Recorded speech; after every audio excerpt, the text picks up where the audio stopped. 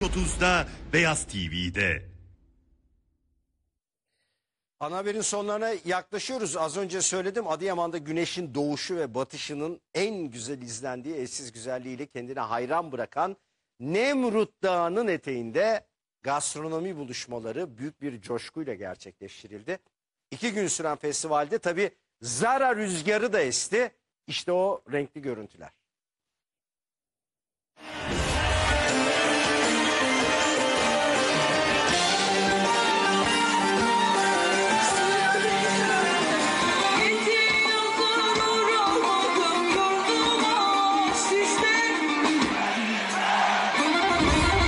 Güneşin doğuşu ve batışının en güzel izlendiği emsalsiz güzellikteki Nemrut Dağı'nın eteğinde çiğ köfte yoğruldu, gözlemeler pişirildi, mezeler hazırlandı. Türk Dünya Mutfağı Adıyaman'da buluştu.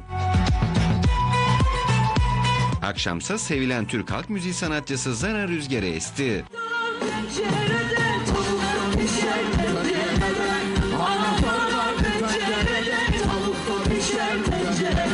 Dünyaca ünlü şefler hünerlerini sergiledi Nemrut Gastronomi Festivali'nde. Festival konukları şeflerin kendi elleriyle yaptıkları dillere destan yemekleri tatma fırsatı buldu. İtalya'dan, Lübnan'dan, İran'dan, Fransa'dan yerli şeflerimizin yapacakları atölyeler olacak. 2000 yıldır ayakta duran Cendere Köprüsü'nün yanı başında kurulan sahnede ise sevilen sanatçı Zara şarkılarını seslendirdi.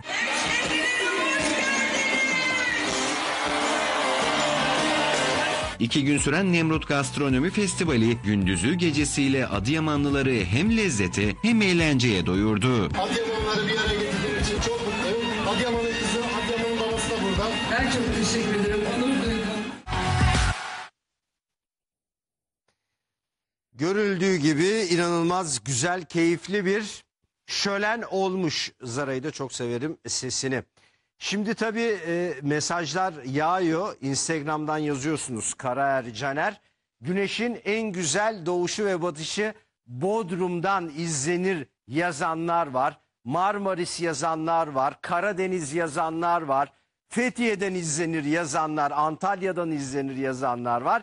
Türkiye'nin her tarafı çok güzel. Onu söyleyeyim ilginiz için de çok teşekkür ederiz. Tabii şehitlerimiz için Allah rahmet eylesin. Dilekleri çok fazla geldi. Bütün dualarımız şehitlerimize, ailelerine, gazilerimize ve biz de bu akşam da ana haberi noktalıyoruz. YouTube kanalımız var. Çok teşekkür ediyoruz. 200 bine doğru gidiyoruz. Bu akşamki ana haberi izleyebilirsiniz. Kaçırdıysanız WhatsApp hattımız var. Her türlü mesajınızı bekliyoruz.